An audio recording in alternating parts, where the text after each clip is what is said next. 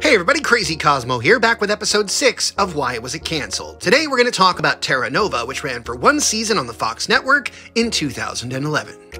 The show starred Stephen Lang of Avatar fame, Jason O'Mara, and was executive produced by Steven Spielberg plot of the show was simple. Humanity has finally, completely, and utterly removed all resources from Earth and decides it's time to find somewhere else, which point they discover a portal that leads back to prehistoric Earth, and they send several different voyages back to start figuring out if they can actually live there.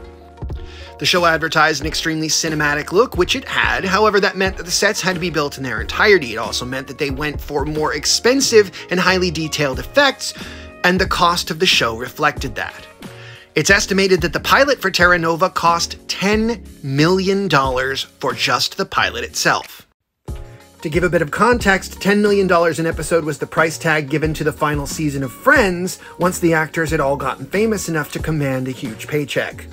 Now, after such a huge pilot budget, you might think the show would have decided to ramp things down a little bit. And sure, they did, down to a paltry $4 million an episode for the final 12. To do the math, at $10 million for the pilot and $4 million an episode for 12 episodes after, that's $58 million for one season, and not even a full season, only 13 episodes. Now, even though it had solid numbers for its whole first season, Terra Nova did not make the kind of ratings that Lost did, which is what Fox was hoping for when they put so much money into the series. Those in the know saw the writing on the wall after the pilot aired when Fox literally made a statement saying, we're not sure if we're making a season two.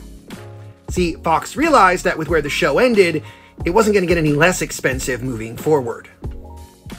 Meaning that they simply weren't willing to make the investment to continue with a show that just wasn't making its money back. Hope was revived shortly of seeing a season 2 when Netflix expressed interest.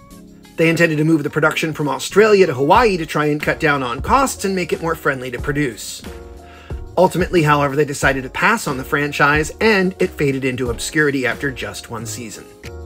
However, with the digital medium of today and the approachability of many of the visual effects that were so expensive 10 years ago, I firmly believe that Terra Nova could make a comeback today, and with where it was left, well, I think it would make for a very interesting continuance, even all these years later. Crazy Kahzmoh, signing off.